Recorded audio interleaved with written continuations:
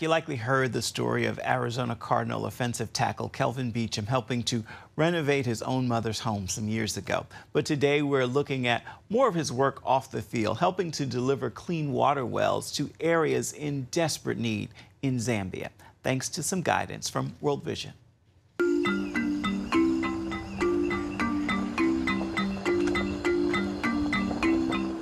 When I sat down with World Vision, the, the biggest conversation and the biggest I guess, point that I kept driving home was I want to go where the greatest need is.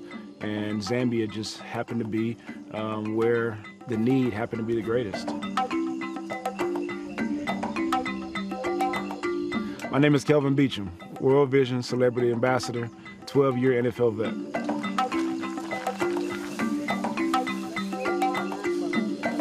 Uh, why clean water wells um, is because, for one, water is freedom. You can't get to some of the other issues that are surrounding some of the families and some of the challenges without actually talking about access to water.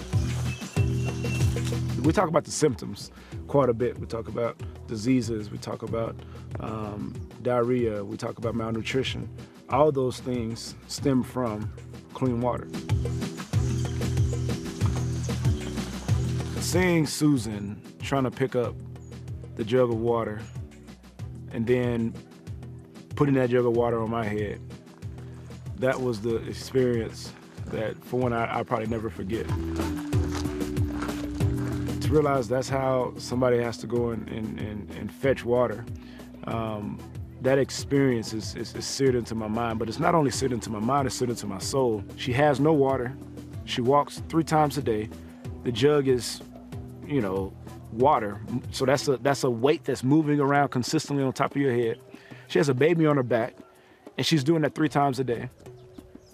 And then considering that there's flies, there's dead cows that have fell into that water, like to realize some of the issues, there's snakes in that water, to realize some of the issues that are going on with that, that bucket at that time, realize that the impact that you're making is literally giving freedom and liberating someone who had no liberation. It's giving somebody and granting somebody the opportunity to have access to life through water. A very basic human need. after being here and after seeing it, you're realizing that, that God didn't send you here, He didn't send us here, um, you know, just to, to see the work, but actually do something about what we were seeing. Um, you know, one of the things I was praying yesterday was just, Lord, let me be where my feet are.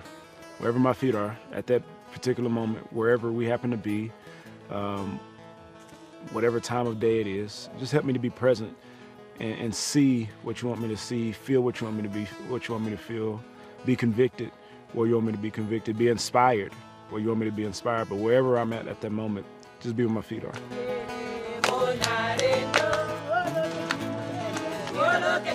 The fundraising amount was $15,000. Um, that was the price of, of, of a well uh, that serves about 28, no, no, serves about 300 people, uh, 28 uh, 100 gallons of water. So to be able to raise that money, to be able to get here to Zambia, to be able to know that we hit that marker was, uh, was incredible. It was amazing just to feel the, the ownership, the energy, the smiles.